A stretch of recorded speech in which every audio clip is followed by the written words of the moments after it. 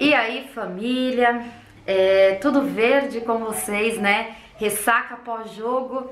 Uh, depois da, do título de ontem perdido, eu queria complementar aqui com vocês algumas coisas, né, alinhar algumas coisas aqui com vocês, deixar um recado importante também. É, queria só pedir o apoio deixando like, se inscrevendo aqui no canal, ativando o sino de notificação, é sempre muito importante, principalmente o seu like né, a sua inscrição aqui no canal, gente, isso é gratuito, você não paga nada e assim você fortalece aqui o canal.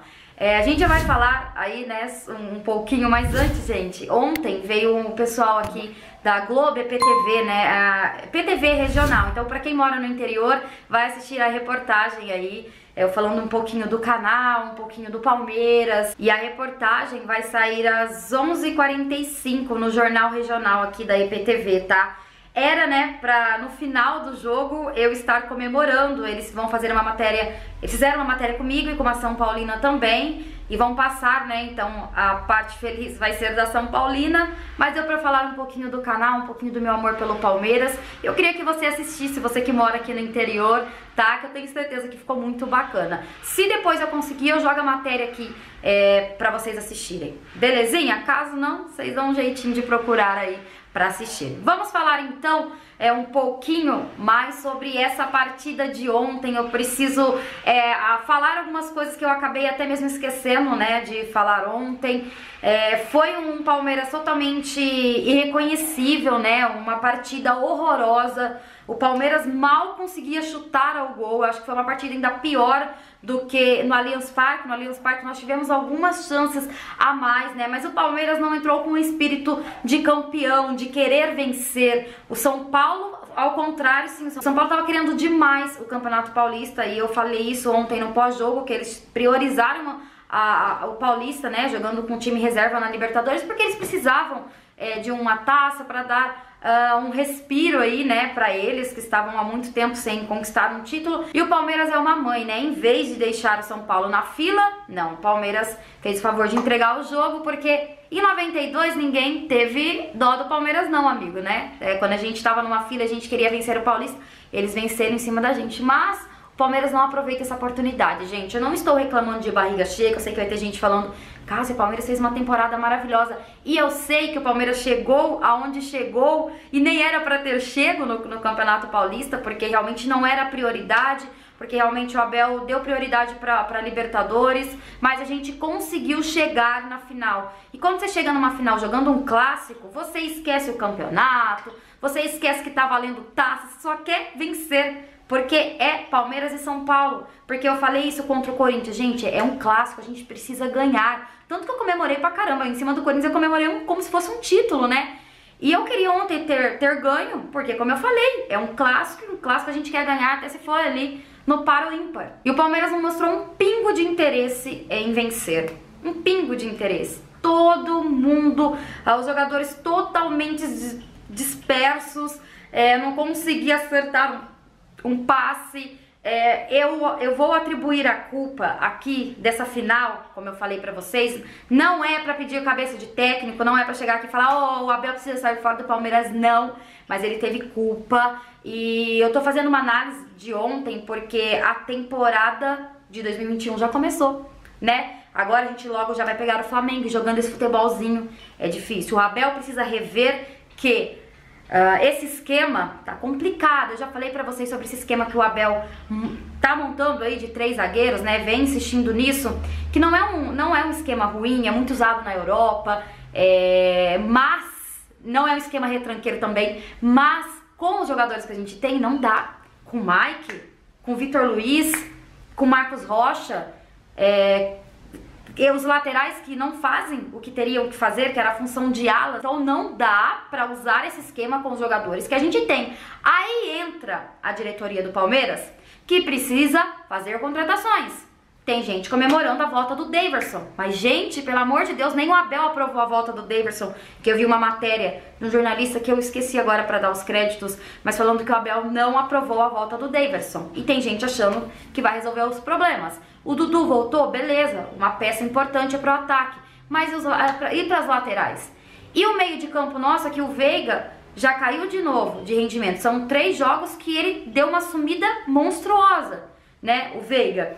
E como a gente vai contar com o meia dessa forma? Será que não precisa fazer contratação, Maurício Gagliotti? Ele prometeu pro Abel que contrataria pontualmente, a janela de transferência fechou ontem, e ele prometeu pro Abel que iria se desfazer de alguns jogadores. Gente, o Lucas Lima é um caso sério, e para mim é a maior palhaçada que, a, que já aconteceu no Palmeiras. Que assim, eu não me conformo que um presidente aceita isso. Gente, o Lucas Lima dá trabalho até sentado lá no banco de reserva. No outro jogo tomou bronca do Abel. Ontem tava levando cartão amarelo. É, ele tá ganhando um milhão por mês para nem conseguir jogar um campeonato paulista. Ele é reserva do time B um cara que ganha um milhão. Se a gente tivesse um presidente sério, isso não estaria acontecendo. Já teriam emprestado Lucas Lima, já teriam vendido, já teriam mandado embora. É, ah, Cássia, mas ninguém quer o Lucas Lima. Manda embora, assume a culpa, assume que foi um prejuízo. Vai deixar esse cara aqui. Se você manda embora hoje, você deixa de pagar um milhão cada mês para ele. Você assume que você errou e acabou. É, é igual numa empresa, gente. Você tá trabalhando, você você vai bem, daqui a pouco você cai de rendimento, você acha que a empresa vai querer continuar com você? Não, ela vai te mandar embora, fazer um acordo, uh, mas ela não vai ficar com você. Acontece a mesma coisa no futebol, o cara não tá ajudando, não tá rendendo, tem que vazar, emprestar. É, o Palmeiras precisa fazer alguma coisa com o Lucas Lima, porque harmonizar a cara, né, ele fez harmonização facial, mas harmonizar o futebol, não. É, eu sei que vocês vão falar, mas ele nem tava em campo, Cássia, mas o que me deixa indignada é um jogador dessa forma, é, de, do tanto que ganha, estar ali sentado no banco e não servir para entrar, para mudar no jogo. É, ontem, para mim, o Scarpa deveria ter entrado, inclusive de titular. Foi um erro gravíssimo do Abel, porque o Scarpa fez o Palmeiras chegar na final. Se não fosse o Scarpa, não estaríamos na final. E eu tenho que reconhecer, porque eu já peguei muito no pé do Scarpa. Mas o Scarpa jogou demais outros jogos, né? O Scarpa foi o cara do jogo em vários jogos, né? Em passes, em gols. E ele não tava ontem. O Veiga não, não jogou bem no Allianz Parque, ontem não deveria ter jogado também. Né? Então essas coisinhas é, que fez com que o Palmeiras não levantasse aquela taça. E aí veio bastante São Paulino ontem comentar aqui no canal, e eu acho justo, até porque eu já zoei pra caramba aqui, e zoei com um motivo, né? Porque é assim, o futebol é dessa forma, um dia a gente tá feliz, outro dia a gente tá triste, e eu tinha que aproveitar porque eu também já fui muito zoada. Mas veio bastante São Paulino aqui comentar, é, e falar que eu faço um trabalho legal, mas veio vários também zoando. E assim, como eu falei, eu, eu não. Eu não acho ruim, porque eu também já zoei. Eu só não entendo algum a, a zoação de que o Palmeiras foi trivice em 2021. O Palmeiras já perdeu três títulos. É, essa piadinha não cola, porque eu quero ser trivice todo, todo ano. Por que, que o Palmeiras foi trivice? Porque o Palmeiras ganhou a Libertadores e a Copa do Brasil. Copa do Brasil que São Paulo não sabe o que é a Copa do Brasil. Mas por isso nós somos trivice. Se o Palmeiras ganhar a Libertadores ano que vem, a Copa do Brasil e perder a Recopa e a Supercopa, amigo, tá de boa. É, lógico que o Palmeiras poderia ter ganho, poderia. O Palmeiras poderia ter feito melhor no Mundial, ter chego na, pelo menos na final, poderia.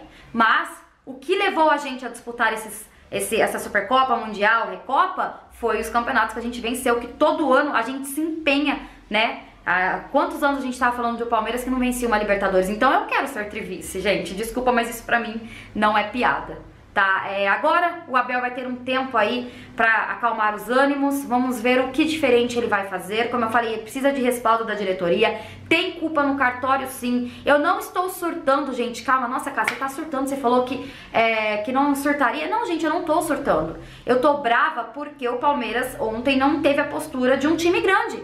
É, porque o Palmeiras já que chegou na final, pô, vamos ganhar, vamos deixar o São Paulo na fila, se lasquem eles. Não, o Palmeiras não teve a postura de campeão.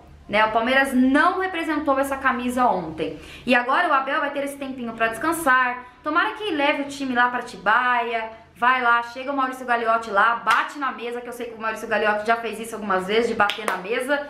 É, apesar de eu não achar que essa é a postura. É, ele não, não parece ser um presidente assim, né? Mas disseram já que ele já bateu na mesa. Enfim, que ele faça novamente e pergunte para os jogadores: quem quer ficar, fique, quem não quer, que vá Porque para jogar no Palmeiras tem que ter postura de campeão. E eu não estou reclamando de barriga cheia. Eu estou pontuando isso porque nós iremos disputar agora mata-mata de Libertadores, logo vem Copa do Brasil e também vai começar o Campeonato Brasileiro. E se a gente quer continuar sonhando com títulos, nós precisamos ajustar a casa, né? Eu já falei para vocês, vamos aproveitar a ganhar o máximo de títulos que a gente puder, porque a gente não sabe o dia de amanhã. Nós sofremos muito num passado recente, então no momento nós precisamos vencer mesmo, aproveitar, ganhar. Uh, e é isso, gente, ganhar títulos, né? Então que o Abel consiga uh, o presidente chegue lá e, e tenha uma conversa séria com alguns jogadores e que o Abel tenha todo o respaldo da diretoria. E aí sim, com o respaldo da diretoria, com as peças que ele pedir de contratação, ele não conseguir né, fazer o Palmeiras jogar, a gente vai fazer uma análise do Abel. Mas por enquanto eu continuo achando que o problema não é apenas o técnico. Ele precisa mudar algumas coisas, precisa. Foi culpado mais de 50% ontem, foi porque ele que treina o Palmeiras. Foi, mas a casinha ali precisa ser ajustada também, né? A diretoria precisa falar, ó, oh, Abel, tô aqui, o que, que você precisa? Não é? Às vezes é um tapa na cara da diretoria, tá pedindo reforços, né? Não. E ele já até uma vez na, numa entrevista, ele já deu até uma indiretinha sobre isso. Gente, o barulho começou ali. Então, vou finalizando o vídeo por aqui, já tá até ficando longo. É, eu só queria realmente fazer é, uma análise um pouquinho mais clara aí do, do pós-jogo de ontem. E eu quero saber sua opinião, né? Porque, como eu falei, nós perdemos um título, gente, e perder um título não é legal. Lógico, bola pra frente, vamos focar agora nos outros campeonatos, mas precisa ajustar. Se a gente quer continuar erguendo, erguendo taça, se a gente quer continuar sonhando, precisa mudar algumas coisas, porque desse jeito é complicado. Muito obrigada por ter me assistido até aqui. Mais informações do Palmeiras eu volto mais tarde. Tamo junto, família. Um beijo para vocês. Até mais. E avante palestra.